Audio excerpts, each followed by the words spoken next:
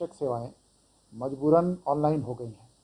तो उससे एक्सेसिबिलिटी एक तो हो गई कि स्कूल जाने की ज़रूरत नहीं है कॉलेज जाने की ज़रूरत नहीं, खास करके जो शैक्षणिक सेवाएँ ऑनलाइन हुई हैं, जो क्लासेस हैं, या एग्ज़ाम्स हैं, वो सारे ऑनलाइन हो रहे हैं। तो एक सुविधा भी है कि ऑनलाइन आप दे पा रहे हैं, अपने घर से दे पा रहे हैं, लेकिन उसमें एक समस्या है कि ऑनलाइन एग्ज़ाम देने के लिए या ऑनलाइन पढ़ाई करने के लिए क्लासरूम में अटेंड करने के लिए आपको या तो स्मार्टफ़ोन चाहिए या लैपटॉप चाहिए और नेटवर्क चाहिए।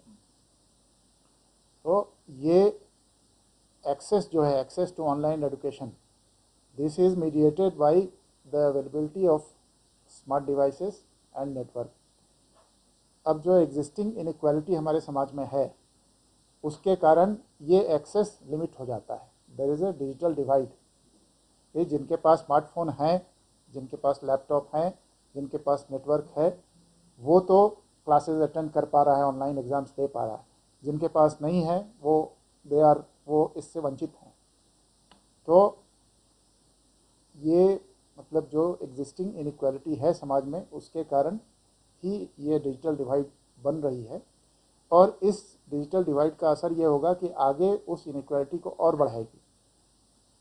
क्योंकि जो बच्चे पढ़ेंगे, वो आगे बढ़ेंगे, जो नहीं पढ़ेंगे वो पीछे छूट जाएँगे। और इनक्वालिटी समाज में अपराध का और उग्रवाद का एक अहम कारण होता है। तो इसीलिए हमने मुझे लगा कि कम्युनिटी पुलिसिंग इनिशिएटिव के रूप में इस डिजिटल डिवाइड को ब्रिज करने के लिए ये एक पहल की जाए। इसके अलावा एक ये भी है कि हर घर में आप देखेंगे कि आ, कई सारे मोबाइल डिवाइसेस स्मार्ट डिवाइसेस वो बेकार पड़े रहते हैं, क्योंकि इनकी ऑब्सोलेसेंस बहुत फास्ट है, बहुत जल्दी वो पुराने हो जाते हैं। लोग इनको किसी को दान नहीं करते हैं, क्योंकि लोगों को लगता है कि हम अपनी मोबाइल फ़ोन किसी को देंगे। और वो अगर कोई मिसयूज़ कर रहा है तो हम उसके लिए जिम्मेवार होंगे। लोगों की आइडेंटिटी उस डिवाइस के साथ जुड़ी रहती है। तो पुलिस विभाग इस आइडेंटिटी को इस आइडेंटिटी और जो स्मार्टफ़ोन से जुड़ा हुआ है, उसके लिए एक रजिस्ट्री प्रोवाइड करेगी कि आप आकर के थाने में अपना स्मार्टफ़ोन जमा कर दें। और जब आप जमा करेंगे तो स्टेशन डायरी में एक एंट्री हो जाएगी कि इस मेक का ये model I M E I number फलाना, फलाने आदमी, पता फलाना, इसने फलाने तारीख को फलाने समय जमा कर दिया। तो उस डेट और उस टाइम के बाद उसकी जिम्मेवारी उस व्यक्ति की नहीं होगी। तो आदमी ज़्यादा कॉन्फिडेंट महसूस करेगा कि अपना जो भी घर में पड़े हुए हैं स्मार्ट डिवाइसेस वो दान कर सकें। और हम लोगों ने प्रक्रिया ये रखी है कि थाने में आप करेंगे।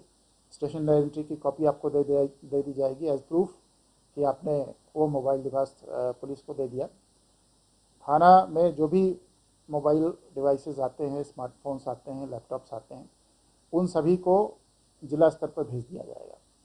अब जो पुलिस अधीक्षक हैं, वो अपने क्षेत्र के जो भी प्रधान अध्यापक हैं, उनकी अनुशंसा पर जो निधि हैं, जो निम्न आय वर्ग के हैं, उनको देंगे।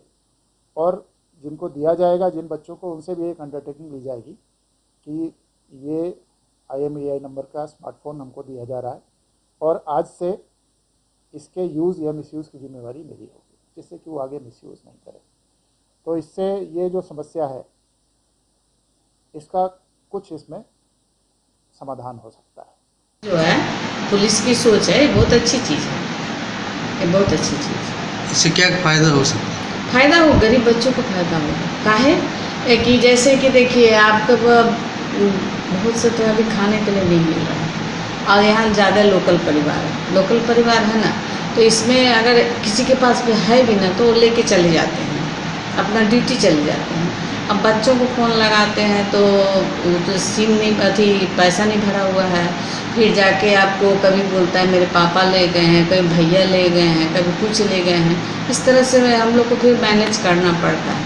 तो ये चीज़ बहुत अच्छी स्कीम है। ये तो हम, इसके लिए हम बहुत ही